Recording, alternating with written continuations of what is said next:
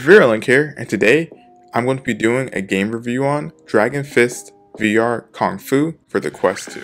Click Games has done it again. They have came back with another banger, and this time it's like a Kung Fu movie. Dragon Fist VR Kung Fu is like stepping into a old school martial arts movie. Um, when I was playing this, I actually saw some sets that looked familiar to movies like Ip Man or Enter the Dragon or any like Bruce Lee movie. They have a lot of things that relate to old school classic kung fu movies and I really enjoyed that about it.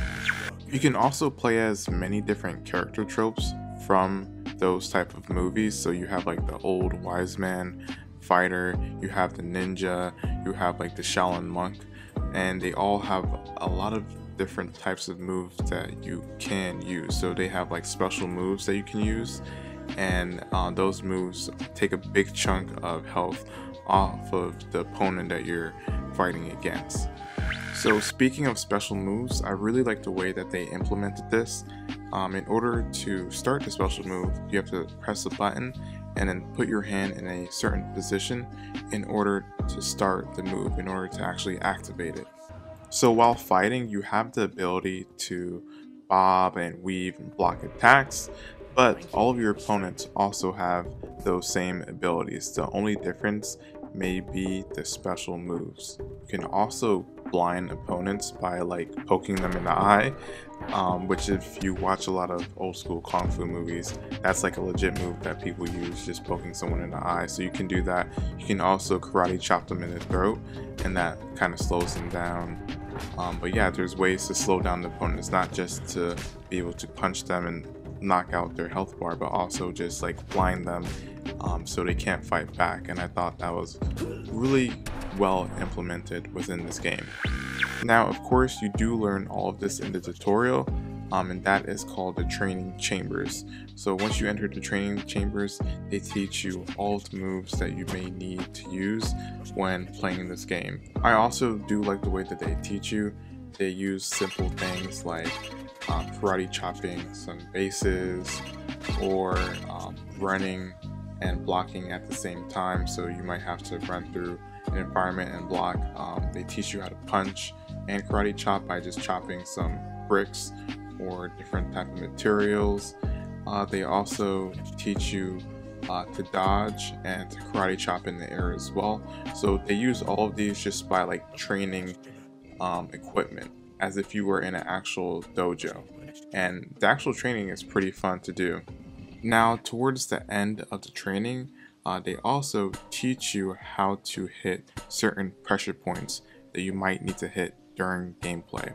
So certain pressure points on characters, it slows them down or it can totally knock them out and just mess up their chakra which was a really cool implementation that I really like that they put in this game. I haven't really seen any other game have that in there, whether it be VR game or just a regular game on the Xbox or PC or wherever. I just thought that was really, really cool. They also have many different maps that you can choose from and the variety is insane. They all look completely different, so it's not like they're just reusing different maps and just changing them a little bit. It's just completely different. And like I said before, there are some maps from movies. So for example, they have a map that looks to be like it is from Ip Man. And if you don't know what Ip Man is, it's about the guy who trained Bruce Lee or Bruce Lee's master. Uh, so that was really cool. Um, and within this map, they do have the racist guy or someone kind of like the racist guy that they fight in Ip Man. And I thought that was a really cool addition because if you really like Kung Fu movies, you're going to notice a bunch of small little details that they put into this game. And this is one of them that I really, really liked. I loved kicking this racist dude's ass. One of the savages thinks they know how to fight.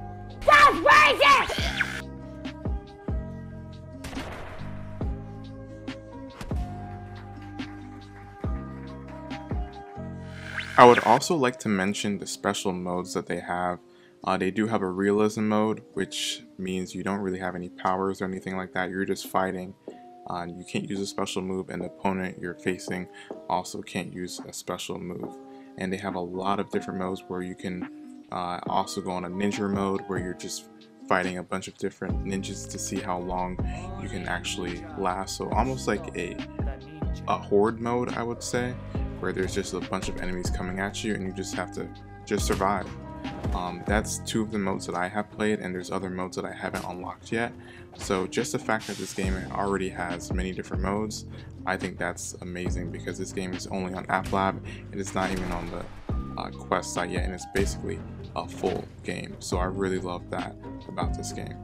I also do want to mention that full body tracking will be supported soon. So uh, trackers will be supported.